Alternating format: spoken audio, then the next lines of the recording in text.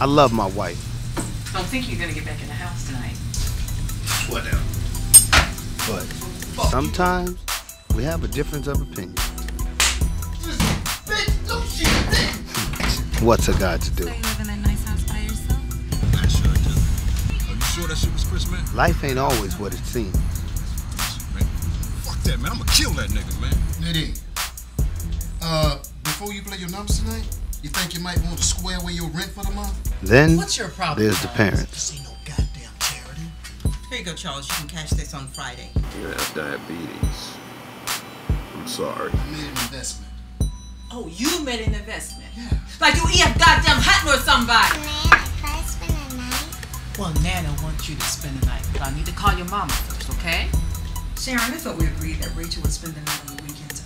Unfortunately, All right, Miss. Mom and Christina She's your daughter. don't always see eye to eye. That's the way it'll have to be. I tell you about putting your fucking hands on me. I have more than a few friends.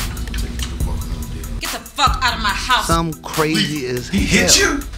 and some Yes. as cool How you as doing, the other sir? side of the I'm. Detective Harris. I'm looking for your son, Jason. I want to be your first. Oh, and did I mention my stepdaughter? Do stepdaughter? you know how to knock? Hey, I don't know what your problem is, but you better straighten out your attitude. You ain't my daddy. You can't tell me what to do. Yeah, that's right, and I'm glad I ain't. And let me let you in on a little something.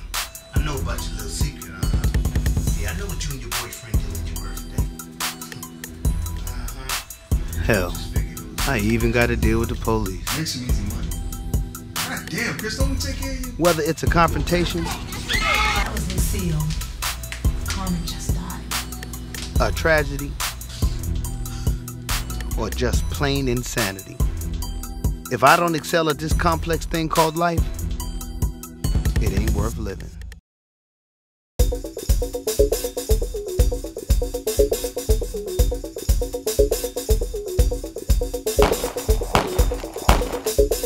Is everybody all right? We're gonna have to see him again. I mean, real soon. Asia, is that you?